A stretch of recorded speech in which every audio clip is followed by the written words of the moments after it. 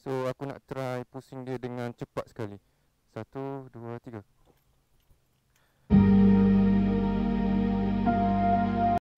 Hello, Assalamualaikum guys. Selamat datang ke YouTube channel Madli Musa. So hari ni aku nak ride motor ni Suzuki Raider. Uh, Aku nak test dia punya uh, Oiling damper ni. So ada satu komen dekat uh, YouTube tu. Kita punya subscriber Dia cakap Ada fungsi tersembunyi dekat uh, damper ni Di mana Walaupun kita set dia paling uh, loose Paling uh, paling ringan uh, damper ni Kalau kita uh, terpusing handle ni dengan cepat Dia akan uh, auto uh, jadi keras. So jom kita test adakah betul? Adakah uh, damper ni uh, mempunyai fungsi tersebut? Okey jom. Aku ni aku set paling ringan so aku nak try pusing dia dengan cepat sekali. Satu dua tiga. Oh taklah. Dia damper ni tak ada fungsi tu. So aku harap uh, dek nawa tu puas hati tengok video ni. Okey so mungkin ada damper yang mahal-mahal mungkin ada uh, fungsi tu. So aku sekarang uh, nak set dia ke center balik. Sekarang paling loose. So 10 adalah center 2, 3, 4, 5, 6, 7, 8, 9, 10 Okay jom kita test ride guna damper uh, paling uh, Apa tu middle punya kekerasan dia Alright guys jom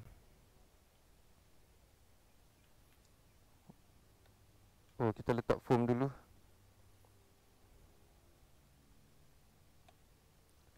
Alright. Bismillahirrahmanirrahim. Sekarang aku pakai exhaust uh, CJ Ipoh, bunyi dia kuat. So sekarang ni uh, polis tengah mengamuk sekarang ni. Uh, dia buat roadblock kat mana-mana je. So kena berhati-hatilah. Kalau exhaust ni kalau ikut uh,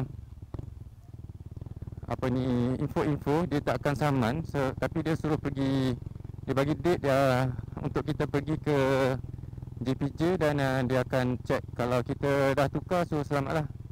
So kalau tak tukar lagi kena saman lah. Ha, macam tu kot.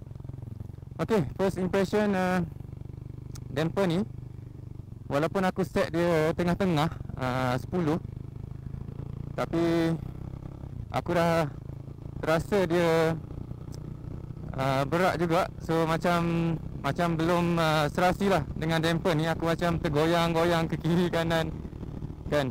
So dia motor kalau handle keras ni dia kena naik.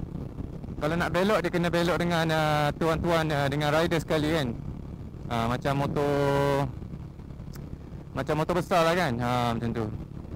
So 10 ni uh, kena biasakan diri juga. Dia tak macam uh, biasa so kalau lagi keras aku rasa lagilah kan? Kita kena kalau kena nak corner kita kena corner dengan badan-badan sekali. Kita tak boleh pusing handle tu saja. So dia akan terasa berat lah macam tu. Okey, uh, exhaust ni pula dia punya pick up dia lah terasa sangat masa kita tukar gear tu. Dia macam nak ke depan lah nak mendorong kita ke depan ha, macam tu. Saya pick up dia lebih. Dia exhaust ni open ni dia more to pick up lah. Dia bukan untuk uh, apa ni top speed.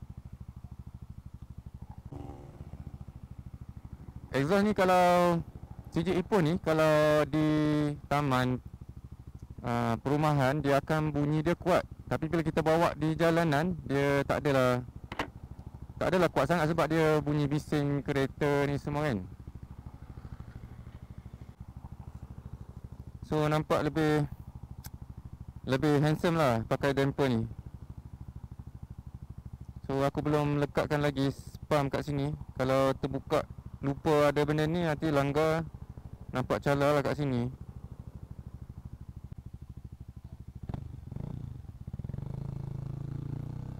Okey. Bila mengonal ni rasa macam berat lah. So nak kena biasakan diri.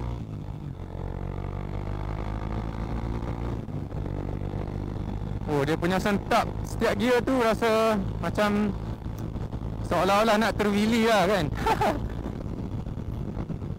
Dia punya pick up tu jadi lebih liar sikit Lebih beast lah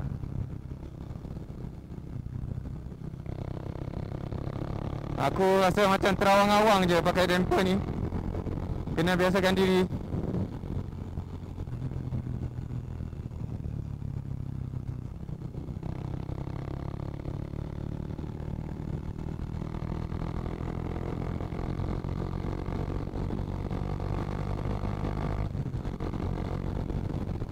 Alright. Motor ni aku belum pergi uh, tuning lagi. Selepas pasang exhaust ni sebab aku uh, Ada benda lagi aku nak tukar iaitu injector. Dan uh, aku terfikir juga kalau aku tukar injector Throttle body yang standard ni Nanti aku nak tukar uh, throttle body lebih besar sikit. 34 Standard dia 32 sekarang ni. So better aku order 34 tu terus Pasang sekali dengan injector So Aku nak buat semua tu barulah pergi tuning. So stay tune guys.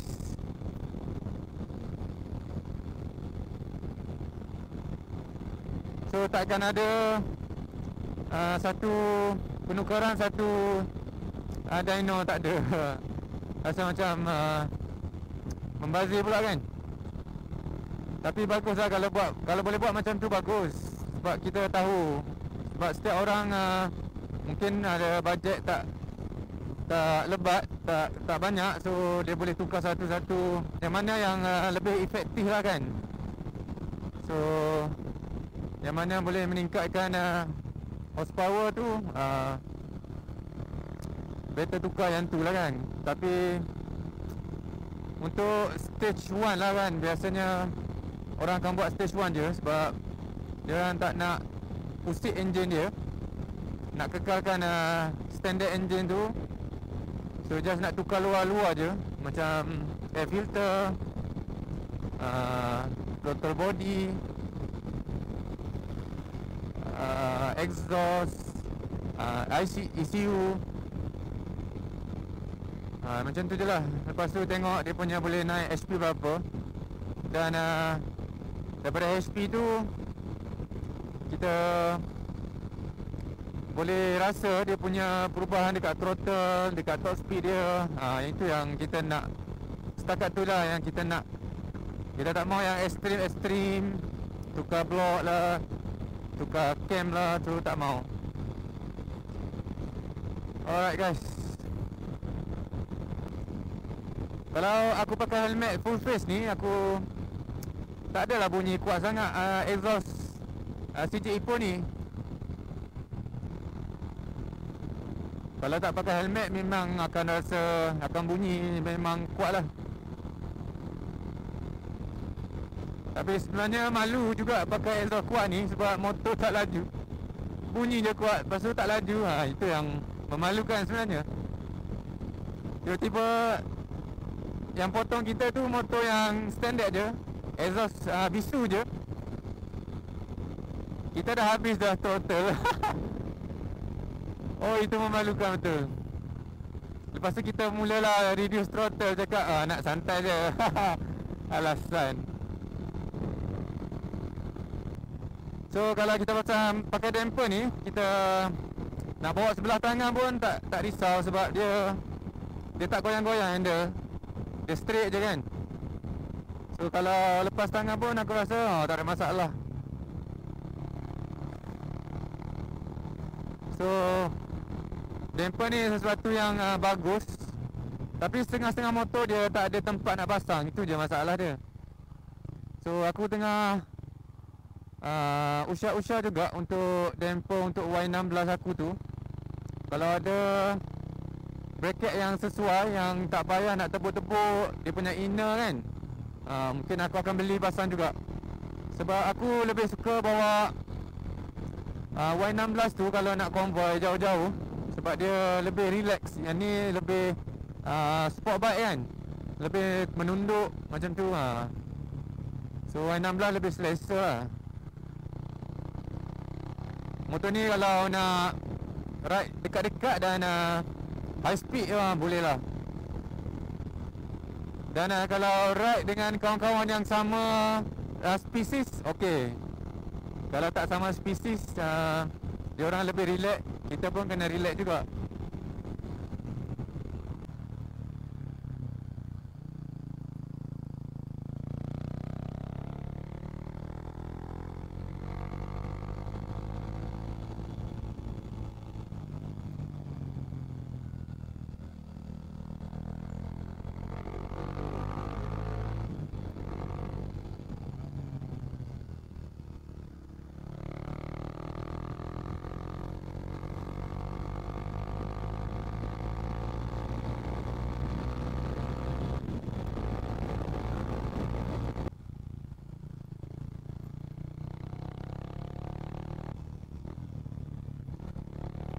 Oh, satu lagi uh, Tanya kawan dulu. Satu lagi ada kawan tanya Lepas pasang damper ni ada lagi tak? Kalau langgar bonggol dia bunyi kelak kelak kelak Aku pun tak perasan lah Sebelum ni Sebelum pasang damper pun Mula-mula beli motor je aku bunyi kelak-kelak tu. Lepas tu dah, dah, dah hilang dah kelak-kelak tu. Aku tak pasti dia disebabkan oleh apa sebenarnya dia hilang dengan sendiri dia. Okey kita dah sampai dah. Harap-harap buka lah nasi kerabu Kak Wan tu. Selera Pantai Timur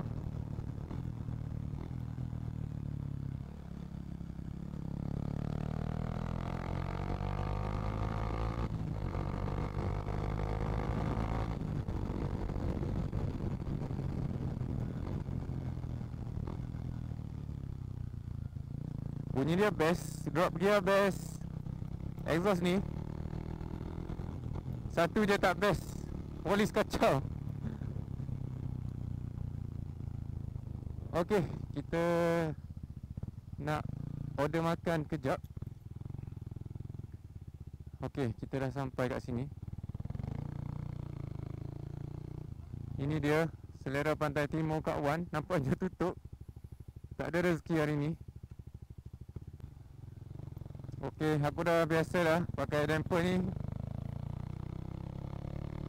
Aku mungkin bila kita dah biasa satu tahap damper ni kita boleh ketatkan lagi, ketatkan lagi.